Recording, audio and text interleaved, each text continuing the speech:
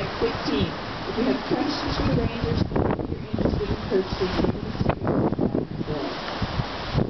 How best to spend your day? Well, many of you perhaps are parents or teachers and you've spent a lot of time telling your children, go on outside and play. Well, it's turnaround time. Now it's time for us to tell you that. Head on outside. Spend as much time as you can outside today because that's where you will get the best views of Glacier Bay National Park. We provided you with a map, and that's committed to your stable. I'll be back in just a little bit to go over the map and the route that Captain has planned for the day.